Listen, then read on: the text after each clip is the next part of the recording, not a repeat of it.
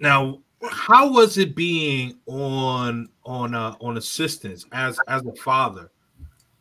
Like, what I'm asking is, um, what, what was it? Cha- was it challenging for you as a father to get on assistance?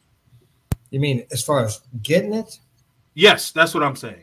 Okay, that was the second time I was on. I was on one time in 2001.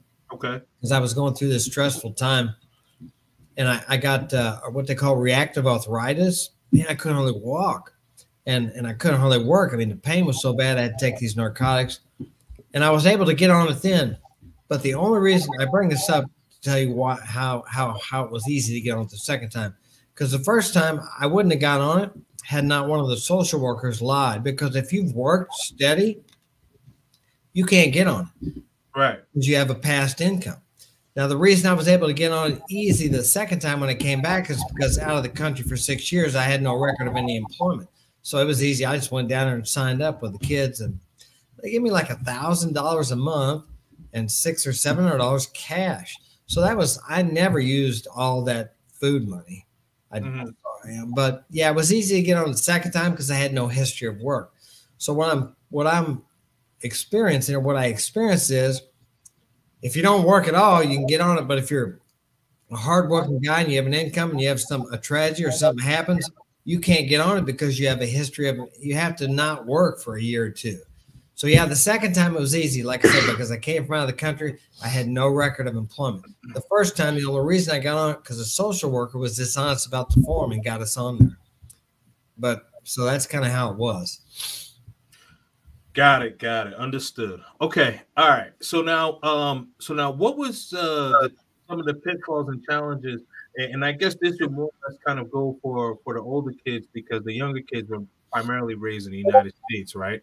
Yeah. So yeah. So so so for the guys that are on my right side, uh, the the older ones. So what what were some pitfalls uh reacclimating yourself to the United States? Um one of the biggest ones was probably just um school. School was just i mean it was just weird how it was set up you know and uh the first couple grades in guatemala they teach you the first grade i know they teach you manners and when you're down there. So they teach you manners and then second grade they start teaching you the uh start teaching you more of like i think it's like the adding and subtracting and stuff. Well then we came up here and by third grade they're already doing division and I'm like, I'm like two or three years behind on that already.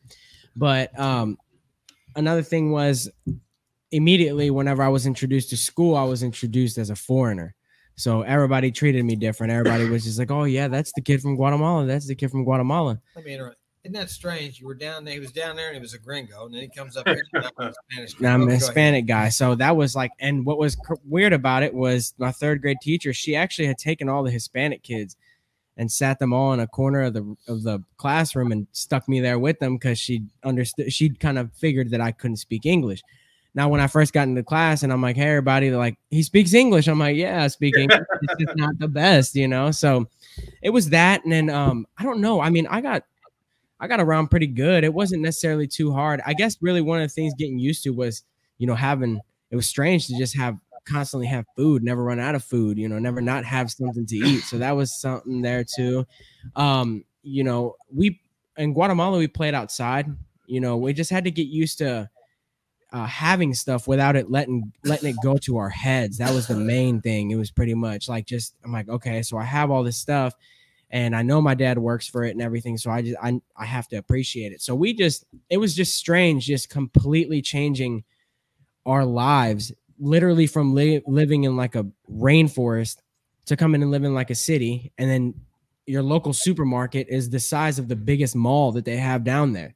So i mean i made a lot of friends. Uh, there was a lot of there's a lot of hispanic people in this town which we got really lucky. And it's funny because one of the guys that was i was best friends with we ended up moving into his neighborhood. And his neighborhood is actually full of it's it's this neighborhood that we live in now and it's actually mainly hispanics. So you know, for the first few years, it was kind of strange. You know, we had, it was just hot water, you know, having our toys, having food, you know, having everything that we needed, and then going to school and then, um, you know, how everybody lines up and goes to lunch and everything. It was just the smallest things were actually probably the the more challenging things to try to get used to you know and then um english too on top of that trying to learn english that was literally the hardest thing because i mean trying to learn english from any other language i can guarantee is painful. And it was for us you know just trying to figure out how this language worked fully. We spoke it we just didn't know how to read it or write it correctly and everything. So that was reading writing and school. School was really the the probably the most challenging part. And it wasn't the people but it was like the curriculum that we were being taught. And then sitting there for so long you know you don't you know you just get i just got bored and tired of school pretty fairly quickly and everything. And you know just not having mom around it was like i rebelled against all the teachers because i had all female teachers so because i didn't have mom around i had, had assumed that every other woman was like that too. So I give all my teachers a really, really hard time. Now, granted, I have two or three teachers that I see to this day, and oh, you're such a good kid and stuff. I'm like, last I remember, I was, you know, I was a knucklehead, but for the most part, school was really the the the most challenging, difficult part. Well, I'll say this: the only time they ever went without food was when I wasn't there, Mhm. and it wasn't because I didn't give them money. Yeah, yeah. I, I, I did not them. I gave money to your mother, hmm but Typically went towards clothes and her fashion kind of stuff. You know, I mean, we just we we were used to that though. You know what I mean? So. but down there, that's a common thing that the, the parents eat first, mhm. not the kids. We're up here. We it's almost like the kids get thought of first before the parents. It's just kind of backwards. And the reason I think that is is because without the children to support the parents when they get older, they have no structures or systems like we have Social Security. They don't have that down. They depend on the children. So the, the parents are taken care of first and then the children 2nd Mhm. Yeah. Mm, that's interesting. Yeah, no, you're definitely you're definitely right about that. Uh, you know, here in the United States, like when- when you put food out or whatever, like it's typically the kids eat first, right? Because and the culture in the United States, like if the adults eat first, like it's it's so frowned upon.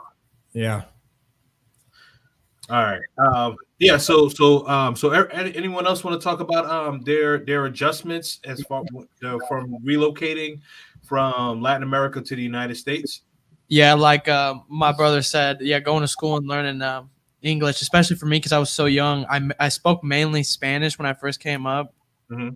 And when I first came to school, I was in kindergarten, and uh, I remember learning like the ABCs and stuff like that, and I didn't know how to say any of those letters. I was like that, you know? And uh, I remember when I was in kindergarten, I came home from school one day and I learned how to count to 100. And I was laying next to my dad and I was counting. He just, he's like, go to bed, go to bed. You know, I was pretty excited to count to 100. Another thing, too, was uh, when we lived at my grandma's house, I would get lost, even though it wasn't really big at all, but it was just so different than houses down there. Yeah. Like it had carpet and different Hallways. You rooms, guys had dirt floors where you with Yeah. Yeah. yeah. Yeah, and like- Oh, we were the richest in the neighborhood because we actually ended up getting concrete Whoa. on the floor, Yeah. so we were fancy. and it was just yeah it was difficult uh you know trying to figure out how to live in a house that's actually a real home you know and then down there too you're not as supervised as much as we were up here and i remember a couple times i'd be sitting out in the driveway at uh, our grandma's house and i'd be doing bad things like sticking my middle finger out or i'd be going outside to pee even though there's a bathroom and stuff and my dad had to teach us all that you know you can't you know be sticking your middle finger out or cussing or doing all this stuff and there's Yeah, yeah. inside that you can use you don't have to pee outside you know Yeah, down there they just pee wherever. everywhere, Yeah. everywhere and anywhere. I guess they still do, but I remember I was not shocked, but surprised. You drive down the road, and even the women would squat down around the side of Mhm. the road, and but there's no bathrooms for them to use anywhere. Yeah, no public access like that, like right. here. Unless you're eating in a restaurant, you can't use bathrooms down there. Yeah, Yeah, it's a lot. Oh, okay.